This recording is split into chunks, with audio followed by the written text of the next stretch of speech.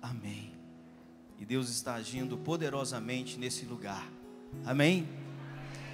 Poderosamente nesse lugar. E o Espírito Santo está sendo derramado pelo tema desse acampamento, e com isso Deus está me dando e dando a você, a cada um de nós e aqueles que estão em casa, uma grande oportunidade. É ou não é? E em cada palavra, em cada canto, em cada oração, nós não podemos perder absolutamente nada, como Nossa Senhora nos ensinou. Ela não perdia uma palavra de Jesus, ela guardava tudo, cada detalhe no seu coração. Por isso ela foi da concepção até a cruz, fiel. Porque a palavra diz que Maria, ela guardava todas as coisas no seu coração. E nas bodas de Caná, ela também pediu aquelas pessoas que estavam naquela situação difícil, aquela família que estava numa situação difícil, porque tinha acabado o vinho, não sabiam mais o que fazer. Ela pede a Jesus, não era a hora dele ainda, a pedido de Nossa Senhora, Jesus antecipa o seu primeiro milagre, mas depois da resposta dele, mesmo Maria não compreendendo quando ele disse: O que eu tenho a ver com isso? Se não chegou ainda a minha hora, Maria vai dizer àquelas pessoas que representa cada um de nós: Fazei tudo o que ele vos falar. Porque se eu e se você fizermos tudo que Jesus falar, tudo que está escrito no Evangelho não tem erro, nem para a nossa vida, nem para a nossa casa, nem para a nossa família. Eu sou fruto do batismo no Espírito Santo do Monsenhor Jonas Abib, e muitas bênçãos e milagres aconteceram na minha vida por causa disso, inclusive o último, de eu estar vivo pela força da oração de muitos de vocês e de todo o Brasil, que dobraram seus joelhos clamando quando ficaram sabendo que eu estava entre a vida e a morte. Por que, que vocês ficaram sabendo que eu estava enfermo? Por causa do batismo no Espírito Santo do Monsenhor Jonas Abib, que fez com que uma multidão nesse Brasil ficasse sintonizado nessa unção. Isso já salvou milhares de vidas, já restaurou milhões de famílias. Podemos aplaudir o nosso Deus, porque Ele não perde a oportunidade de nos tocar. Se não fosse o batismo no Espírito Santo do Monsenhor Jonas Abib, diácono, bem provavelmente não estaria aqui. Porque aquela ali, Adriana Biondini, aquele ali, Mauro Biondini, a Chiara Biondini, que ficaram representando vocês fisicamente, presencialmente naquele hospital em Belo Horizonte, dobrando os seus joelhos e deixando as lágrimas cair, caírem no meu corpo, representavam justamente aqueles que só souberam que eu estava doente e só puderam orar por mim por causa da canção nova. E a canção nova por causa do batismo do Monsenhor Jonas Abib. Ou seja, quando eu sou batizado no Espírito Santo, muitos frutos e desdobramentos desses frutos acontecem na vida de muitas e muitas pessoas. Por isso que nós pedimos aqui, lá embaixo também eu pedi a bênção do diácono e pedi a Deus o batismo no Espírito Santo. Por quê? Porque se com o batismo no Espírito Santo do Monsenhor Jonas Abib tudo está acontecendo aqui, quer dizer que se eu renovar o batismo no Espírito Santo na minha vida, muitos milagres acontecerão na vida daqueles que estiverem me vendo, me ouvindo, me assistindo, ou seja, na sua vida pela qual eu pedi antes desse momento. O diácono falou que eu sou veterinário e que é uma profissão delicada, maravilhosa, e que se compara com o pediatra porque assim como o veterinário, o pediatra, ele não sabe, ele não sabe porque a criança está chorando. Ele tem que ele tem que investigar qual é a causa da febre. A criança novinha não fala, é meu ouvido, é minha barriga.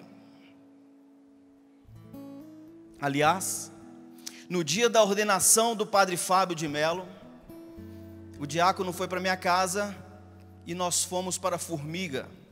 Lembra? Estou falando aqui agora, eu vou deixar o Espírito Santo transbordar de tal forma que eu peço a Deus que nenhum daqueles que aqui estão e nenhum daqueles que estão acompanhando de casa fiquem sem uma bênção muito grande na sua vida nessa tarde.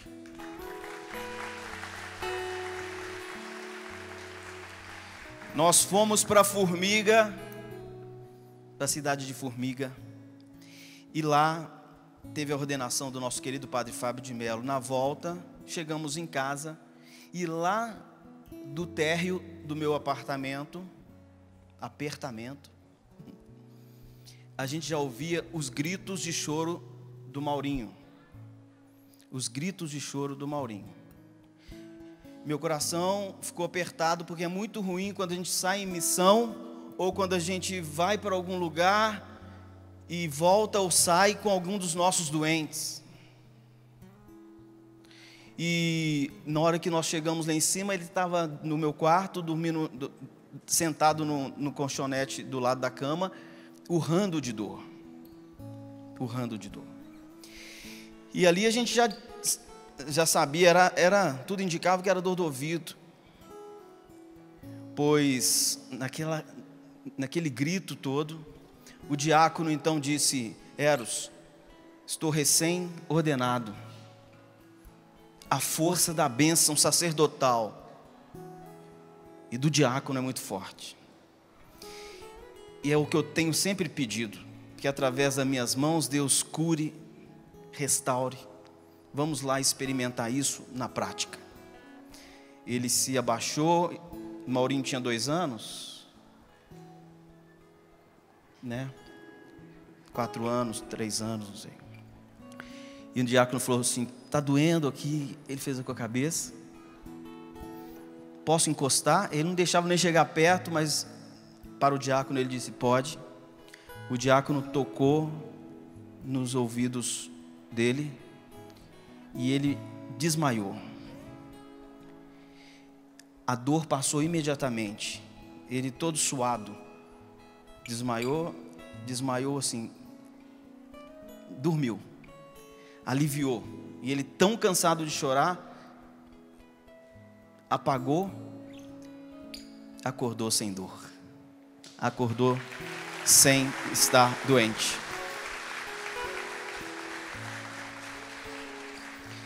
E quando o diácono falou aqui, iniciando, não sabia que ele ia iniciar me apresentando como veterinário, eu fiquei imaginando Assim como um médico veterinário, quando chega para atender um animal, ele precisa ir além para fazer um diagnóstico preciso, porque o animal não fala. Assim também com os nossos filhos, muitas vezes nós não sabemos o que fazer. Ou seja, por eles serem muito pequenos, não saberem falar, ou por estarem tão sofridos na sua adolescência, na sua juventude, que não sabem expressar, pedir socorro, como tantos e tantos que hoje eu e uma turma que está aqui da corrente do bem ajuda a restaurar e tirar das drogas esses filhos de vocês. É realmente como um veterinário, por isso esse acampamento sertanejo tem muito a nos dizer. O mesmo cuidado que temos com a nossa plantação, com os nossos animais, também nós precisamos muitas vezes identificar quais são as dores dos nossos filhos, porque nós pensamos, eu fiz de tudo por ele, ele tem tudo, por que está revoltado? Por que está deprimido? Por que está viciado? Onde será que eu errei? Alguém aqui já pensou mais ou menos assim? E como fazer se eu não consigo compreender na minha humanidade? Como fazer se eu não consigo expressar? Está escrito na palavra: o Espírito Santo vem em meu auxílio. Vem em meu auxílio para que eu possa compreender pelos dons e possa produzir muitos frutos. Eu sou fruto do batismo no Espírito Santo do Monsenhor Jonas Abib. Como é bom dizer essa frase. Repita você também. Eu sou fruto do batismo no Espírito Santo do Monsenhor Jonas Abib. Vamos aplaudi-lo?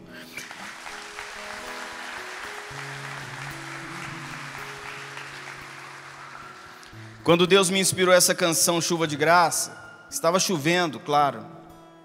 E lá na minha comunidade, que também foi profetizada pelo Monsenhor Jonas Abib,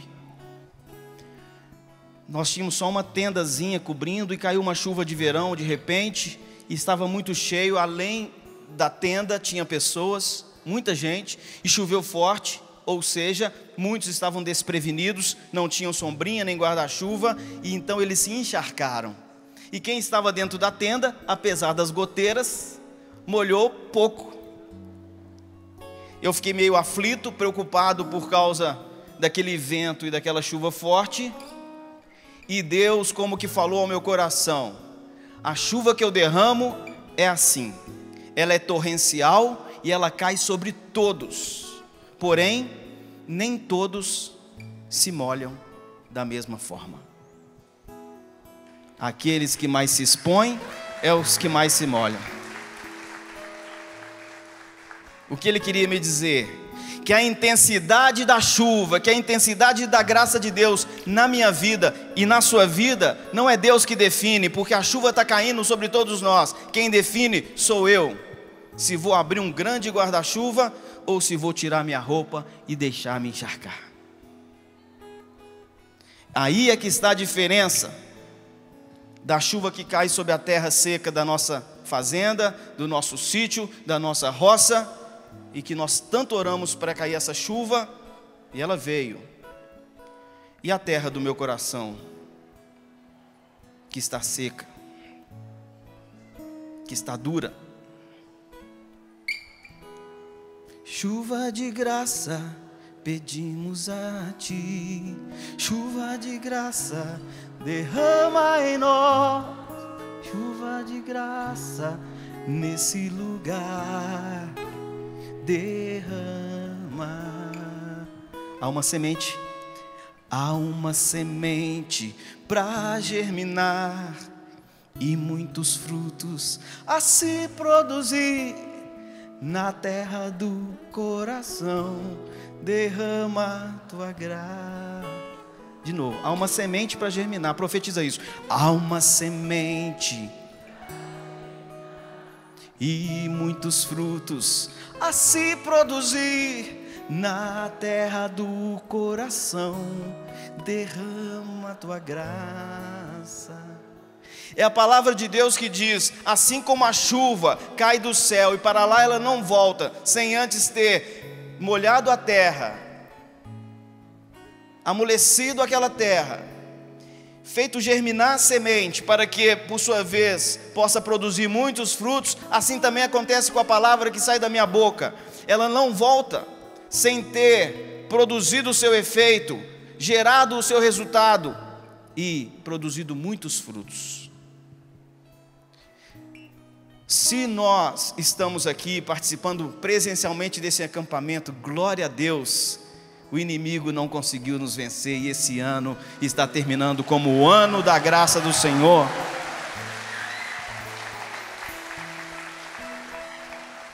Se você sintonizou a TV Canção Nova hoje, inclusive tem muitos e muitos que começaram a dizer: sintoniza lá, sintoniza a Canção Nova agora, não perca você também está fazendo produzir muitos frutos pelo batismo do, seu Espírito, do Espírito Santo em você, é porque esse encontro é para nós. É porque nós somos o alvo. Porque essa cadeira que você está sentada, está sentado, ela é muito preciosa. É ou não é? Milhares, milhões de pessoas dariam tudo para hoje poder, lá no Marajó, lá no Rio Grande do Sul, ter a oportunidade de sentar na sua cadeira, sim ou não? Daria tudo. Portanto, você pode perder a bênção de hoje? Você pode perder essa oportunidade? Oportunidade que Deus te deu de estar sentado numa cadeira que milhões de pessoas clamariam a Deus para poder sentar, para ocupar esse lugar. Você pode perder essa oportunidade? Não, não podemos.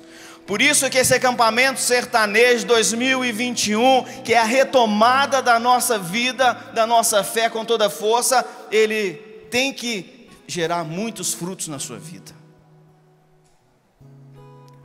E se porventura alguns de nós somos como aquela figueira que Jesus encontrou e que ele vai dizer em parábola que ela não produzia frutos há três anos, então que aquele senhor mandou cortar aquela, aquela figueira porque não produzia frutos, mas de repente o, o seu funcionário, o seu empregado, que tinha tanto zelo por aquelas, aquela roça, por aquele, por aquele pomar, vai dizer ao Senhor: Senhor, não corta agora não, me dê a oportunidade de eu caprichar aqui esse ano, eu vou cavar em volta dela, eu vou jogar água, eu vou jogar adubo. Quem sabe no ano que vem, quando voltarmos aqui, ela está com fruto.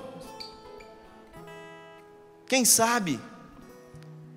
Deixa eu deixa eu cavar de novo em volta dela, deixa eu fertilizar essa terra, deixa eu jogar água nos pés dessa árvore, Senhor, não corta. Deus está falando aqui para muitos de vocês em relação aos seus filhos e a sua família. Não desista, porque no ano que vem Ele também estará aqui.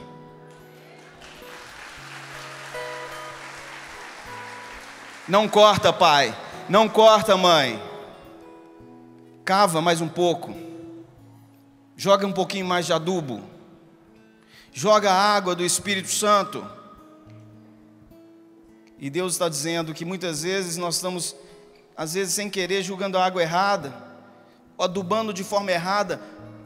Às vezes nós dizemos, eu saio desse encontro toda animada, todo animado e achando que com as minhas palavras eu já vou trazer meu filho, já vou conseguir converter meu marido e de repente eu falo e tá, não, não funciona parece que dá o resultado até errado. É o contrário. É o batismo no Espírito Santo que nos dá o dom da sabedoria. Eu estou aqui hoje, nessa tarde, mais uma vez, nesse palco onde Deus já me inspirou muitas canções. Por quê? Porque quando Deus batiza alguém no Espírito Santo, aqueles que estão ao seu lado colhem os seus frutos. Colhem seus frutos. O primeiro, a primeira pessoa a gravar uma música minha, há 28 anos atrás, em 1993, no LP, eu e minha casa serviremos ao Senhor, faixa 2 do lado B. Depois você pesquise LP, eu e minha casa serviremos ao Senhor, a faixa 2 do lado B. Muitas pessoas nem sabem que é lado B, porque nasceram já na época que não tinha mais LP. A música morreu por você. Sabe quem gravou uma música minha pela primeira vez na vida, antes mesmo de eu gravar? Monsenhor Jonas Abib.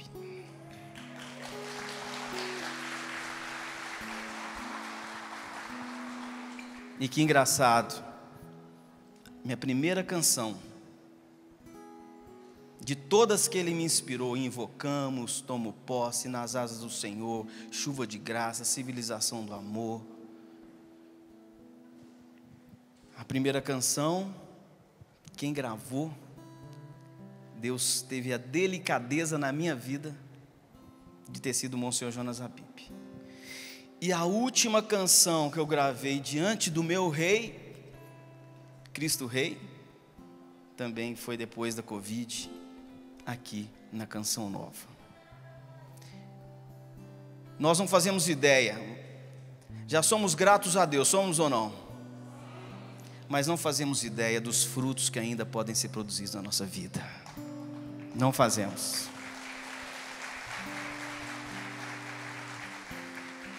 E você pode ser a pessoa mais grata desse mundo, mais agradecida desse mundo, tendo a virtude que é considerada como a mãe de todas, a mãe de todas as virtudes é a gratidão. Feliz a pessoa que cultiva esse dom. Mas, por mais que você seja uma pessoa grata, agradecida, uma pessoa que não se esquece, como aquele leproso, de voltar para agradecer a Deus e também agradecer as pessoas, que muitas vezes é fácil agradecer a Deus, mas você se lembrar daquele que te ajudou, daquele que te deu uma oportunidade, daquele que te estendeu a mão quando você mais precisava. Aí está a grande virtude Mas por mais que nós tenhamos esta virtude, Jesus, ele vai dizer: ele não se deixa vencer em generosidade. A misericórdia dele é para sempre e pedir recebereis, pedir recebereis. Por quê?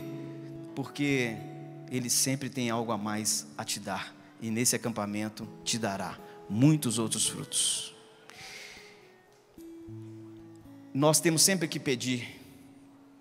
Pedir que o Senhor continue derramando essa chuva de graça sobre a nossa vida, sobre a nossa casa, sobre a nossa família pedir o batismo no Espírito Santo.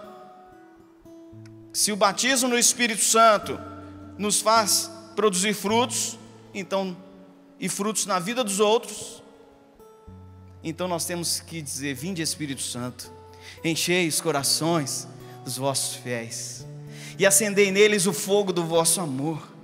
Enviai, Senhor, o vosso Espírito, e tudo será criado, e renovareis a face da terra. Ó Deus, que instruíste os corações dos vossos fiéis com a luz do Espírito Santo. Fazei que apreciemos retamente todas as coisas, segundo o mesmo Espírito, e gozemos sempre de Sua consolação. Por Cristo Senhor nosso. Amém. Deus hoje quer nos curar, nos restaurar, e através de nós restaurar os nossos frutos. Quem são os nossos frutos? São os nossos filhos, são as nossas famílias. Deus disse a Abraão: Eu vou abençoar todos em você. Eu vou abençoar a sua sementeira, eu vou abençoar a, a sua plantação, eu vou abençoar o seu gado, eu vou abençoar os seus filhos, eu vou abençoar a sua família. Eu vou abençoar através de você tudo e todos. Ao final, nós vamos cantar uma canção que vai dizer isso. Tua família é abençoada em ti. Diga comigo, a minha família é abençoada através de mim e todos que eu trago aqui no meu coração receberão a mesma bênção que eu estou recebendo agora. Porque assim eu determino. Porque a minha família é abençoada através de mim. Crê e será salvo tu e a tua casa. Teus filhos serão rebentos de oliveira e tua casa edificada sobre a rocha, e os ventos não poderão contra ela. Amém. Antes de pegar essa palavra, eu queria, aí em Lá Maior, que a gente tomasse posse. Graças a Deus, eu quero louvar e bendizer a Deus, agradecer a vocês pela oração, agradecer a Deus por, esse, por esse lugar, pelo batismo no Espírito Santo do Padre Jonas Abib, pela vida do diácono Nelson Correia.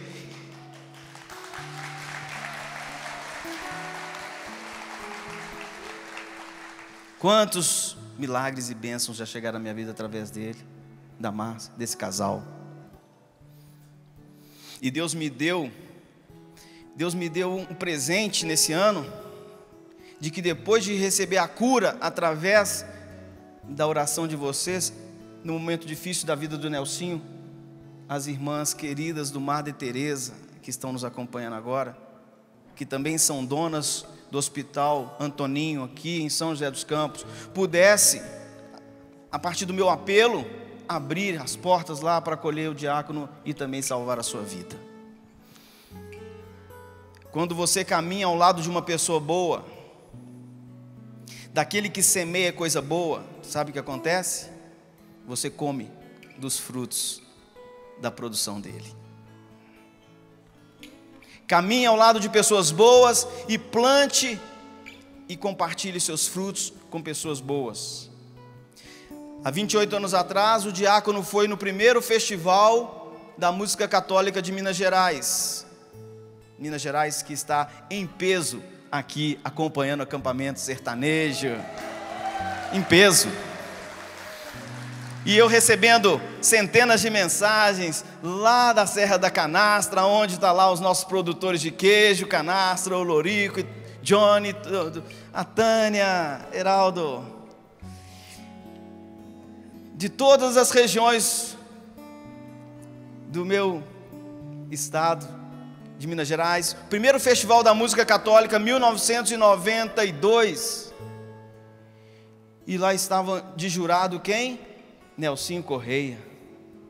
Eu ali cantando tremendo. Hoje eu vi a Luzia Santiago dizendo que toda vez que ela vem pregar, que ela sobe aqui, ela também passa mal à noite, fica, fica nervosa, fica apreensiva. Eu também. Porque é uma responsabilidade muito grande, como ela falou, abrir os lábios para proclamar a palavra de Deus. E é por isso que nós também ao mesmo tempo sabemos que essa palavra é viva e eficaz. Assim como Jesus falou, Pedro, lança as suas redes.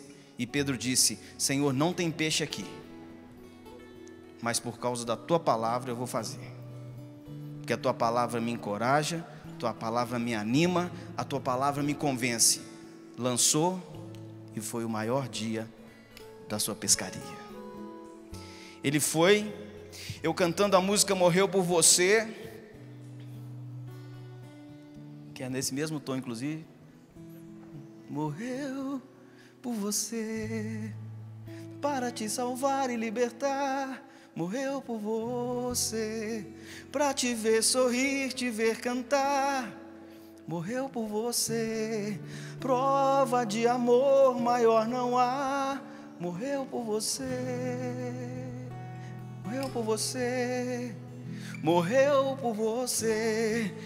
Quis todo o seu sangue derramar, morreu por você, para a sua vida resgatar, morreu por você. Prova de amor maior não há, morreu por você.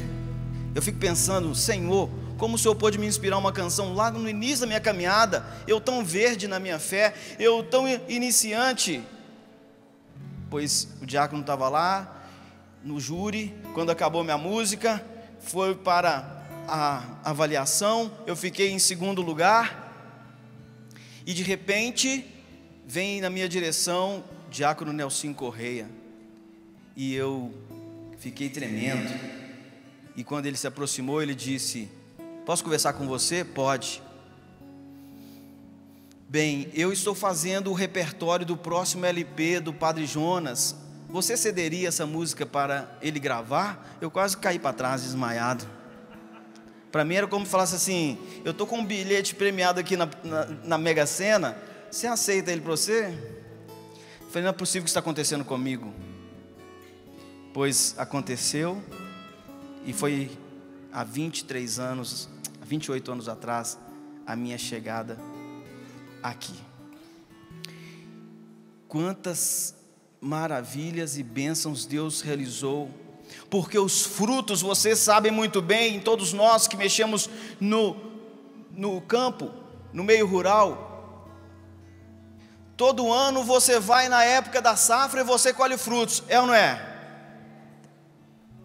Lá na minha casa tem um pé de abuticaba, no período de setembro, por aí, pode ir lá que vai ter jabuticaba. Uma vez só? Não, todo ano. Todo ano. Por isso que a bênção de Deus, ela se renova na sua vida. E você precisa buscar a Deus todos os dias, porque existe uma bênção para cada dia. Existe uma bênção para o dia de hoje. E a bênção de hoje é aquela que Deus escolheu como os frutos do batismo no Espírito Santo do Monsenhor Jonas Abib. E se nós tomarmos posse disso, esses frutos serão produzidos na nossa vida, na nossa casa, na nossa família. E essa música Tomo Posse foi aqui nesse palco que Deus me inspirou a partir da palestra da Luzia, da oração do Monsenhor Jonas Abib, que dizia que Deus ele faz chover sobre os justos e os injustos, faz o sol brilhar sobre os bons e os maus. É inerente da natureza de Deus abençoar o ser humano, até mesmo aqueles que estão longe. Ele deixa as 99 para ir atrás daquela que se perdeu. Deus está falando aqui para pessoas que estão há muito tempo afastadas. Ele deixa todo mundo para ir atrás de você. Isso está acontecendo agora, porque Ele te ama. Não pergunta o seu pecado, não pergunta o seu passado. Ele só te chama para você retornar.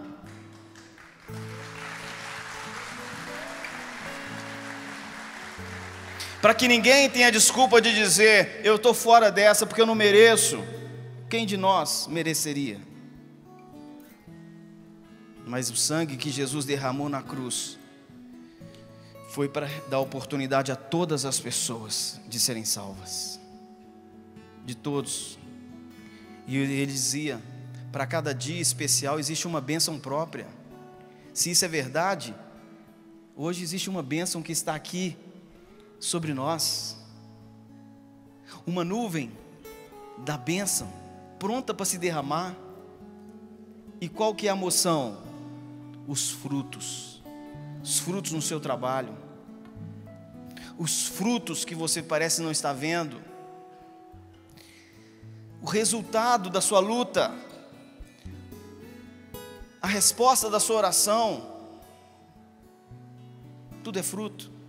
Quem aqui tem pedido a graça a Deus há muito tempo, a mesma graça, e que humildemente pode dizer: parece que está demorando. Parece que está demorando. Mas os frutos do batismo no Espírito Santo Monsenhor Jonas Abib não demorarão, pela intercessão de Nossa Senhora das bodas de Caná, que fez antecipar, chegar mais rápido o milagre que eles estavam esperando.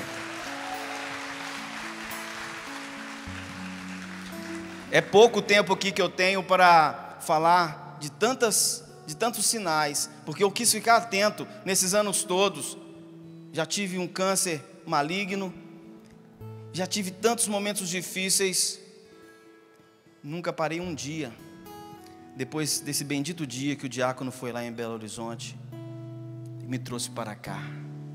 Já caí, já trupiquei, trupiquei já vacilei mas nunca larguei a mão de Deus, nem um dia da minha vida. Nem um dia. E eu acho até que é por isso que ele me inspirou muita música, porque eu não deixo um dia sequer de clamar ao Senhor, nem que seja entre lágrimas. Entre lágrimas, porque ele escuta o clamor dos seus filhos e, e dos pais quando dobram os joelhos para orar pelos seus filhos. Vamos cantar este esse refrão? Se Deus nos trouxe aqui, é porque com certeza tem uma bênção para mim. Porque se não fosse assim, outro estaria aqui no meu lugar. Mas se Ele me trouxe aqui, Ele quer me abençoar. Se Ele quer me fazer produzir frutos, até que enfim, pela força do batismo no Espírito Santo. E se Ele quer me batizar no Espírito Santo para que outras pessoas possam produzir frutos a partir de mim, então eu só posso dizer uma coisa: eu tomo posse dessa bênção de hoje. Eu tomo posse da graça de Deus, tomo posse da cura, Senhor, tomo posse da bênção de hoje. Eu tomo posse da graça de Deus, tomo posse da cura, Senhor, tomo posse da benção de hoje. Se você toma posse, então pode aplaudir agora sim com força, porque você acolheu, tomou posse, e os frutos serão bons e abundantes sua vida. Ai, ai, tanta coisa para falar, mas a palavra de Deus tem que ser proclamada, porque foi a unção que foi me passada do tema da pregação. Em nome do Pai, do Filho e do Espírito Santo, pelo sinal da Santa Cruz, livra-nos Deus nosso Senhor dos nossos inimigos. Amém. Vamos nos assentar mais um pouco, por favor. Você não faz ideia de como Deus te ama você não faz ideia da prontidão de Deus em derramar o Espírito Santo, está escrito aqui na palavra: vocês que são maus, vocês que oscilam, vocês que um dia estão nervosos, outro dia estão calmos, vocês que muitas vezes são brutos, vocês muitas vezes são estúpidos, vocês que são muitas vezes carrancudos, que não têm coragem nem de dizer um eu te amo para uma pessoa por causa do constrangimento, da timidez, da criação. Vocês que são maus sabem dar coisas boas aos seus filhos. Quanto mais o vosso Pai vos dará o Espírito Santo se vocês clamarem. Está escrito aqui, Jesus falou. Tantas palavras que podem edificar a nossa vida. Nós não fazemos ideia de quantos frutos podem ser produzidos ainda em nossa vida. Quando nós ligamos a televisão, quando você ligou a televisão hoje, você está buscando ouvir a voz de Deus. Meu Deus, o que o Senhor quer da minha vida? O Senhor quer de mim? Quando você veio, saiu da sua casa, saiu do seu estado e veio aqui, teve o privilégio de estar presencialmente aqui, você está dizendo para Deus: o que o Senhor tem para mim? É ou não é? O que o Senhor quer de mim? Pois então Ele vai falar. No Evangelho de São João, capítulo 15, versículo 16. Não fostes vós que me escolhestes, mas fui eu que vos escolhi. Às vezes a gente acha que nós é que tomamos a iniciativa. Deus é que tomou a iniciativa. Você está aqui muito mais porque Deus te ama do que porque você ama Ele. Ele sabia da sua luta, da sua dor, do seu sofrimento. No dia mais difícil no hospital, Madre Teresa, às três horas da manhã, eu com a máscara que só me dava alucinação, pesadelo. Eu não tinha força para ir ao banheiro, precisava fazer as minhas necessidades na cama. Três horas da manhã, Deus me deu a força de segurar um controle remoto e ligar na TV Canção Nova. e estava reprisando o texto da misericórdia, como acontece todos os dias. E ali, na voz do Padre, eu ouvi Deus dizer: Estou te despertando porque a hora da sua cura chegou, e a minha misericórdia está te alcançando agora. Dormi, e depois acho que três dias depois, liga um telefone, eu também fraco, ou foi um, dois dias antes, era a Luzia com o Padre Jonas no vídeo, orando por mim pelo vídeo do celular. Eu acho que vou postar hoje no Instagram essa, esta, esse vídeo. E ali começou a cura. Não fostes vós que me escolheste, Fui eu que vos escolhi e vos capacitei, vos constituí para que vades e produzais frutos, e o vosso fruto permaneça. Eu assim vos capacitei, a fim de que tudo quanto perdides ao Pai em meu nome, Ele vos conceda. O que eu mando é que vos ameis uns aos outros. Palavra da salvação. Glória a vós, Senhor.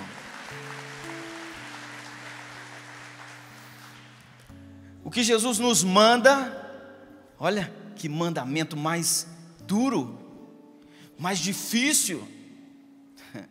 Quem dera que, que todo patrão, que todo pai tivesse isso como seu mandamento: qual é? Amar, perdoar, compreender.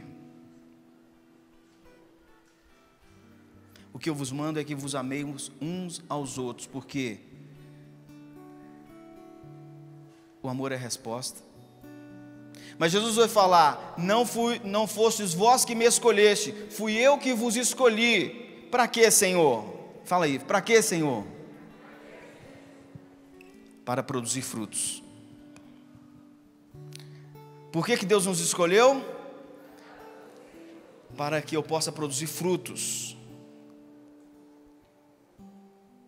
Bons frutos. Porque a árvore boa produz bons frutos. A árvore mal produz maus frutos.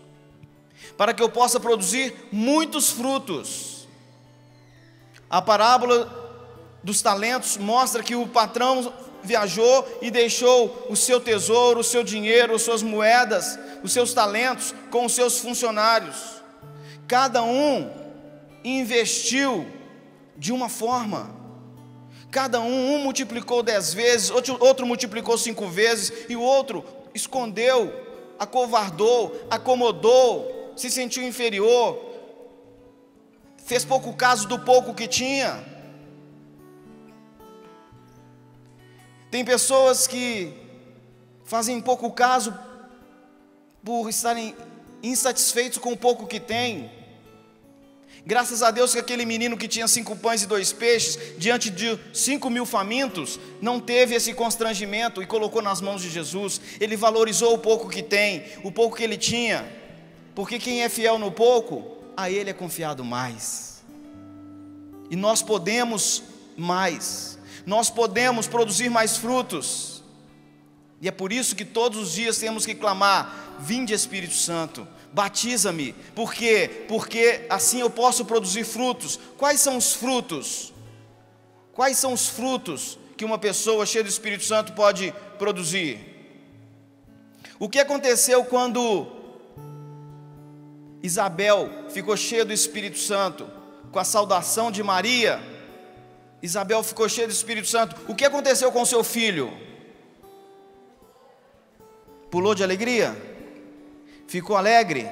Quem deseja que seu filho, que os seus filhos, que a sua família ou na sua casa volte a ter um clima de mais alegria? Que seus filhos sejam mais alegres, sejam mais felizes? O que, que aconteceu com João Batista quando Isabel ficou cheia do Espírito Santo? Quando sua mãe ficou cheia do Espírito Santo, ele ficou alegre.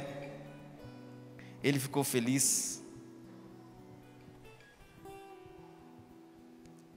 O que aconteceu quando em Pentecostes o Espírito Santo veio e batizou os discípulos, os apóstolos, aqueles homens medrosos, aqueles homens covardes, Pedro que tinha negado Jesus diante de um guarda, depois do Espírito Santo, a porta se abre no cenáculo, ele sai, tinha uma multidão de gente e muitos e muitos guardas, e ele aponta o dedo e diz: Fiquem sabendo que Jesus Cristo, a quem vocês crucificaram e mataram, ele está vivo. Voltou a coragem, voltou a ousadia pela força do Espírito Santo. O que, que aconteceu com a família de Cornélio? Um homem que, pela lógica dos judeus, não merecia ser batizado ou ser incluído naquele entre os fiéis. O Espírito Santo se derramou sobre a vida e a família dele. Por isso que nós nunca podemos dizer a alguém: você não merece ser batizado no Espírito Santo, você não merece receber a benção de Deus. Deus, Jesus entrou na casa de Zaqueu e as pessoas mais religiosas da cidade disseram: que absurdo, ele vai justamente ficar na casa do pior dessa cidade. Sim, eu fui o piorzinho da minha casa há 31 anos, entrando no encontro de oração, usando drogas, afastado de Deus. Entrei como o problemático da minha casa saí como um homem restaurado e o mais apaixonado dos cinco.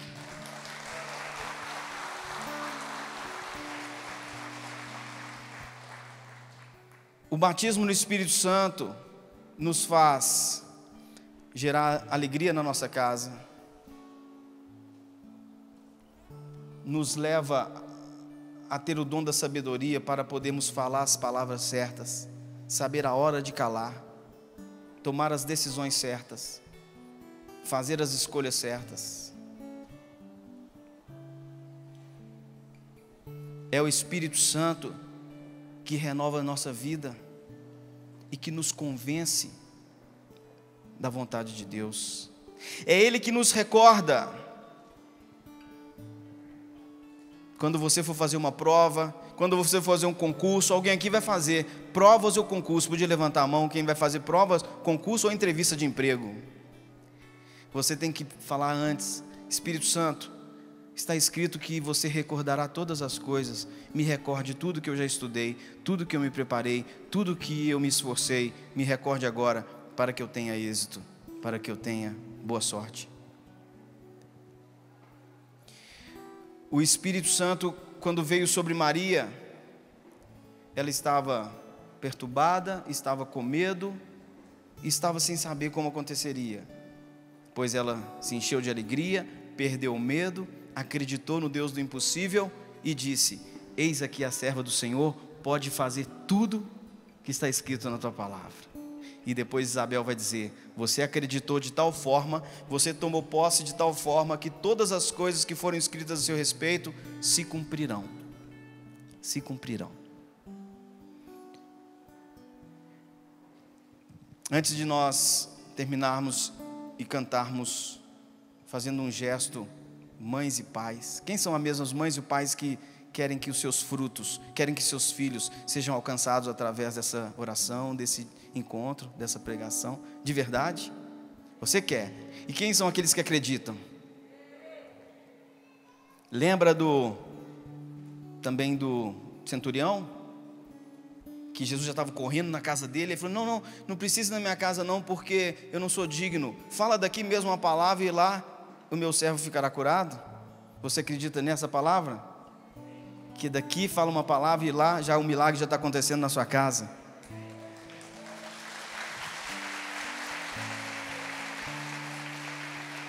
Eu termino aqui dizendo de mais uma experiência linda quando eu vim aqui perguntar ao Padre Jonas algo sobre a minha vida, meu futuro missionário e o outro chamado que é tão delicado na minha vida. E eu dizia para o padre: Padre, eu me sinto como um galho fincado no seu tronco. Um galho fincado no seu tronco. Por isso eu vim aqui beber dessa seiva. Eu preciso de uma resposta. Quando nós precisamos de uma resposta, nós precisamos ir atrás de pessoas de Deus, de pessoas do bem. Até mesmo quando você quiser fazer uma autocrítica, pergunte para pessoas que são do bem, não para pessoas que querem o seu mal. Foi assim que Jesus fez quando ele perguntou para os discípulos: O que o povo está dizendo sobre mim? É claro que ele queria saber o que as pessoas de boa vontade, as pessoas do bem. Tanto é que a resposta era: uns dizem que isso é Elias, João Batista, um dos profetas. Não falaram nada de que aqueles fariseus os acusavam, o acusavam. Quando nós quisermos melhorar, quisermos saber se a gente está fazendo alguma coisa que precisa, pode ser melhor ou está fazendo errado, pergunte para quem te ama de verdade, para quem torce pela sua felicidade. Dessas pessoas você, você pode escutar as críticas. Você pode escutar as críticas. Eu falei, padre, eu, tô, eu me sinto também, com muita humildade, me sinto como um, um galho fincado no seu tronco. Isso quase 20 anos atrás, Monsenhor Jonas olhou nos meus olhos, orou por mim e disse assim: Eu nem digo um galho fincado no meu tronco, Eros, mas você sabe aquele broto que nasce no pé da árvore, que nasceu da árvore, mas que parece que formou uma outra árvore, aquele broto que sai do pé e ele vira um outro tronco, com outros galhos, e com os seus próprios frutos, assim é que eu vejo pela oração a sua vida. E hoje eu entendo o que ele quis dizer: que o batismo no Espírito Santo, meu, não só faz produzir frutos na sua vida, mas te faz também batizado no Espírito Santo e por sua vez fazer frutos acontecerem na vida de outros. E por onde você passar, a bênção de Deus vai chegar. E o mal não terá lugar. E o mal cairá por terra. E observando as mães que oram pelos filhos, os pais que nos terços dos homens dobram seus joelhos clamando pelos filhos. Estou aqui com meus filhos, Maurinho e Kiara, que tantas vezes dobraram os seus joelhos quando eu estava doente. Estava aqui, está ali meu amigo Marquinho, e toda a galera do sul de Minas. Quem é do sul de Minas aqui? Levante a mão, do sul de Minas. Eita! Estávamos em Itajubá, cidade do Padre Léo. Fomos no santuário de Nossa Senhora da Agonia, o único do Brasil, no, santuário de Nossa Senhora da Agonia, o último lugar onde o Padre Léo chegou, é, passou em vida, que visitou o Padre Rodrigo. E naquele dia o Mauro foi comigo a Itajubá. Ele tinha tomado uma dose de vacina e tinha passado mal. Ele estava com febre, com dor no corpo e o mal-estar terrível. E nós tínhamos que ir para a missa, porque depois eu ia animar a adoração. Aí eu disse: fica aqui no hotel porque você não tem condição.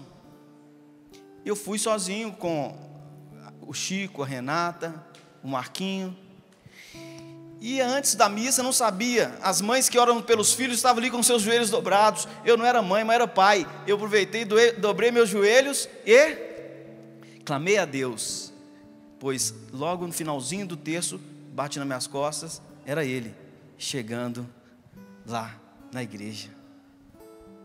E aí Deus me inspirou uma canção. Tudo que Deus prometeu sobre meus filhos irá se cumprir. É claro que uma espada transpassa nosso coração quando nossos filhos estão sofrendo, mas quando eu me coloco de joelhos, meus filhos se põem de pé. Podemos fazer assim para terminar, diácono? Os pais se colocarem de joelhos, as mães também. Quem é pai e mãe aqui podia se colocar de joelhos? Eu vou cantar, você tem a cifra? Aí. Os filhos ficam de pé e os pais se ajoelham. Escute essa canção e a gente termina esse momento. Quais são os nossos frutos mais preciosos? São os nossos filhos. Mas isso também vale para os nossos pais, vale para a nossa família, vale, vale para aqueles que dependem da nossa oração. Tantas pessoas que me pediram oração, pediram a você também. Tudo que Deus prometeu sobre meus filhos irá se cumprir. Crei será salvo tu e tua casa, tua família abençoada em ti. Teus filhos serão rebentos de oliveira, e sobre a rocha tua casa estará. E quando soprarem os ventos contrários sobre esta casa ela resistirá. Estou de joelhos, meus filhos de pé, sob a proteção da mãe de Nazaré, em adoração a Jesus que é o Senhor da minha família. Estou de joelhos, meus filhos de pé, sob a proteção da mãe de Nazaré, em adoração a Jesus, que é o Senhor da minha família. Estou de joelhos, vocês. Estou de joelhos, meus filhos de pé, sob a proteção da mãe de Nazaré em adoração a Jesus que é o Senhor da minha família. Produz seus frutos, Senhor. Estou de joelhos, meus filhos de pé, sob a proteção da mãe de Nazaré, em adoração a Jesus que é o Senhor da minha família. Tudo que Deus prometeu tudo que Deus prometeu sobre meus filhos irá se cumprir. Crei será salvo tu e tua casa, tua família abençoada em ti. Teus filhos serão rebentos de oliveira, e sobre a rocha tua casa estará. E quando soprarem os ventos contrários sobre esta casa, ela resistirá. Ergue a sua mão direita assim. Estou de joelhos, meus filhos de pé, sob a proteção da mãe de Nazaré, em adoração a Jesus, que é o Senhor da minha família. Estou de joelhos, meus filhos de pé, sob a proteção da mãe de Nazaré em adoração a Jesus, que é o Senhor da minha família. Amém. E ao final dessa pregação, pode ficar aí. Eu dar a benção a essa família que eu amo tanto, que é a minha família também. É um Maurinho pequenininho, rezei para os seus ouvidos. Agora já é, uma, já é um advogado. Deus te abençoe. A sua missão, Maurinho, para falar bem, tem que ouvir bem. Então, pequenininho, Deus criou o seu ouvido. Para você saber ouvir bem, como seu pai. Porque só fala bem quem ouve bem. E Deus criou aquele dia lá que você era bebê, que tem uma missão para você também. Ouvir as pessoas e fazer o bem. Como é bom olhar essa família querida e ver que tem jeito, né? Quero o Cristo Rei aqui dar a benção a essa família, a todos vocês que rezaram por seus filhos, por seus pais, por todos que estão conosco, nos preparando para ir para a Santa Missa daqui a pouco. O Senhor esteja convosco. Ele está no meio de nós. Que o Cristo Rei abençoe tudo que nós ouvimos de lindo neste momento através do Eros, de sua família. E abençoe a todos nós. Em nome do Pai, Filho e Espírito Santo. Amém. Está cantando Eros. Saímos do ar assim com Eros cantando para nós. Estou de joelhos, meus filhos de pé, sob a proteção da mãe de Nazaré, em adoração a Jesus, que é o Senhor da minha família. Estou de joelhos, meus filhos de pé, sob a proteção da mãe de Nazaré, em adoração a Jesus, que é o Senhor da minha família. De novo, estou de joelhos.